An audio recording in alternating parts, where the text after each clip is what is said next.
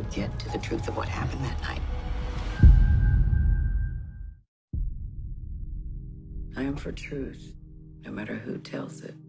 I'm for justice, no matter who it's for or against.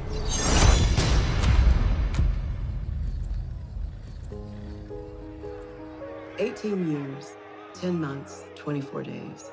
That's how long Warren Cave has sat in prison for the murder of Chuck Buhrman. I helped seal Warren's fate with a series of articles. But is there an innocent man in prison? And did I lead that charge? Always standing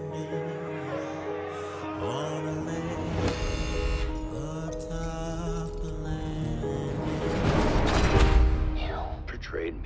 as a privileged psychopath. Now, I live in a house full of men who breathe to lie. And I could smell yours before you even started talking. How could a mother and two daughters sleep through such a violent encounter? And they never recovered the murder weapon. What are you hiding? You leave it, There is a monster inside every one of us. You terrify me. What about you? What's in there?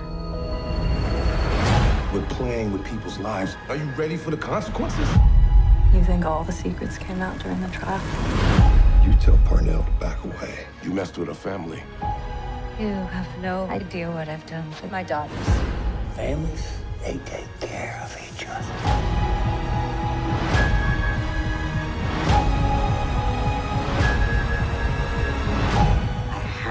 Get to the truth of what happened that night.